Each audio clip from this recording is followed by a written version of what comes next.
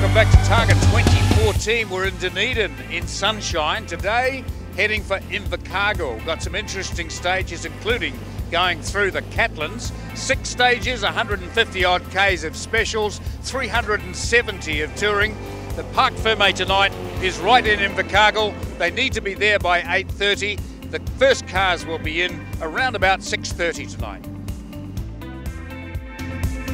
A great testament to some of the service crews and their ingenuity. We had several people yesterday that looked as though their problems were terminal. Jason Gill, I thought, blew smoke in the morning, wasn't looking good, thought he'd blown an engine, so did he. Jason, I noticed, noticed at the start line yesterday there was a fair amount of smoke coming out, blue smoke.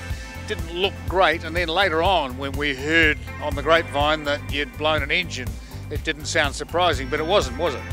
No, one actual fact happened was the um, oil pressure switch had broken off the back of the motor. It must have been uh, sort of starting to leak, but it actually broke off during the stage, which dumped all the oil out of the car.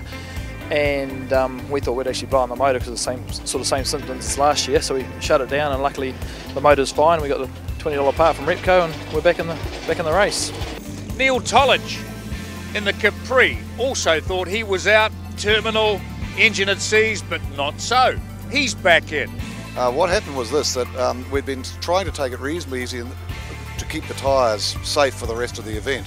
And I decided to just go a bit quicker on that stage, but was doing nothing silly, changed from third to fourth at six and a half thousand revs as is normal, and the engine just died dead and blue smoke pouring out of the back in the mirrors. We thought, God, the engine's lunched itself, pulled over, blue smoke pouring out of the exhaust. It wasn't running, but just coming out, so we thought the engine was just molten inside.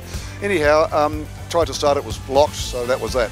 Towed it into um, Oamaru, lovely guy, garage. We started to open up everything and turned the engine over with the spark plugs out, and water flew out of every cylinder. We said, Where did the water come from? And a water jacket uh, on the gasket had um, come through, got into the inlet manifold, filled all the cylinders with water, snuffed the engine out, and the blue smoke was glycol burning. So a dear old guy in a pensioner flat had a Ford Fairlane, a gasket set for a 302 Windsor, put it on and it's running like a clock. Robert Gunn in the Walkinshaw Commodore looked like he was off in the bush and out of the event on day one. A hairpin my way. Oh, you okay? We, we came over the brow of a hill and we were carrying a bit too much speed. We got halfway round and the um, back of the car let go and we were passengers for the rest of the, the time. We parked up a hill. We put it on a chassis rig yesterday and the, um, they straightened the back out and it's um, all good. So quiet day today and see how we go. Tony Quinn in the Lamborghini ended up in a paddock. We thought that car was totaled and he wouldn't be back, but he says he'll be back on Friday. So there's some great mechanics, there's been some great work done, and some real Kiwi ingenuity in getting these cars back on the road.